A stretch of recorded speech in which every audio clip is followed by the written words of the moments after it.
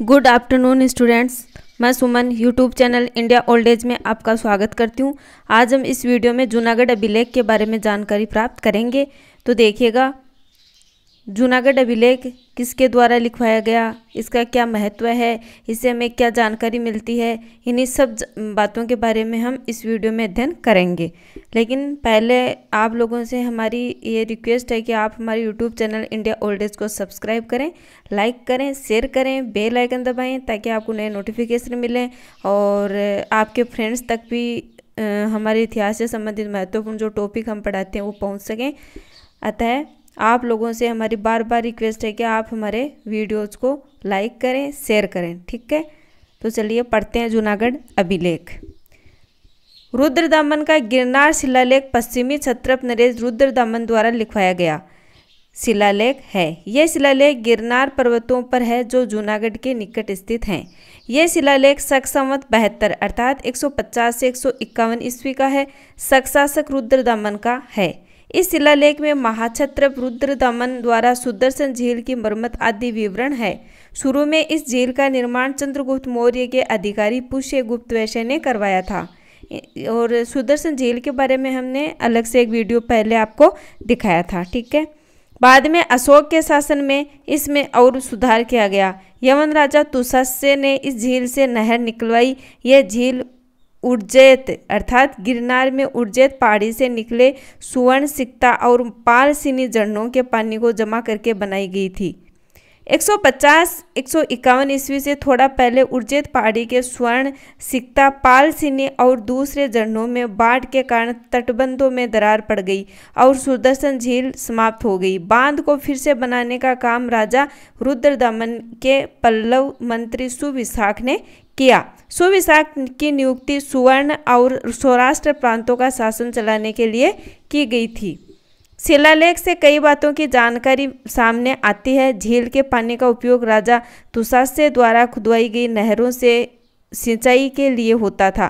चार शताब्दी बाद उसकी मरम्मत एक पल्लव या पल्लव सामंत ने करवाई। दोनों ही काम विदेशियों ने किए। इस तरह ये शिलालेख केवल बाँध ही नहीं, झील का भी एक रिकॉर्ड है। इससे पता चलता है कि इसका पूरा चौथी शताब्दी में भी लोग बाँध, झील और सिंचाई प्रणाली का निर्माण जानते थे। 300 साल बाद मरम्मत आदि का काम पूरा होने पर चार सौ पचपन छप्पन ईस्वी में सुदर्शन झील भारी बरसात के कारण फिर टूट गई और चार सौ छप्पन ईस्वी में चक्रपालित के आदेश पर इस विशाल दरार की मरम्मत करके तटबंधों को दो महीने में दुरुस्त किया गया। सम्राट स्कंद गुप्त जो 455 से सड़सठ ईस्वी तक शासक था, के काल के जूनागढ़ के एक शिलालेख से पता चलता है कि चक्रपालित ने सुदर्शन झील के तटबंध की तटबंध की मरम्मत करवाई थी। यह अभिलेख संस्कृत भाषा में लिखा गया पहला वृहद और विस्तृत अभिलेख है। इस अभिलेख में शासक रुद्र दामन की उपलब्धियों का वर्णन है। इस अभिलेख के अनुसार रुद्र दामन ने सातवाहन शासक वशिष्ठ पुत्र पुल्लुमावी को पराजित किया तथा अपनी पुत्री से उसका विवाह करवाया था। इस अभिलेख से जानकारी मिलती है कि चंद्रगुप्त मौर्य के समय सौराष्ट्र क्षेत्र में पुष्यगुप्त ने सुदर्शन झील का निर्माण करवाया और अशोक के समय योनराज योनराज तुषास्य ने इस झील की मरम्मत करवाई। रुद्रदामन के समय उसके अधिकारी सुविशाख ने इस झील की पुनः मरम्मत करवाई।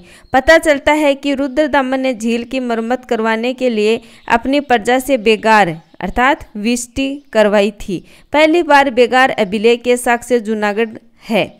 इसी में बेगार शब्द का उल्लेख पहली बार हुआ है। ठीक है? महत्वपूर्ण तथ्य। रुद्र दामन का जूनागढ़ अभिलेख, जो 150 ईस्वी का है, संस्कृत भाषा में पहला वृहद दिया विस्तृत अभिलेख है। यह अभिलेख सौराष्ट्र, काठियावाड़ प्रांत, गुजरात में स्थित है। इस अभिलेख में शासक रुद्रदामन की उपलब्धियों का वर्णन मिलता है। इस अभिलेख के अनुसार रुद्र दामन ने सातवाहन शासक वशिष्ठ पुत्र पुलुमाओं को पराजित किया तथा अपनी पुत्री से विवाह करवाया। जूनागढ़ अभिलेख से जानकारी मिलती है कि चंद्रगुप्त मौर्य के समय सौराष्ट्र क्षेत्र में पुष्यगुप्त ने सुदर्शन झील की मरम्मत करवाई।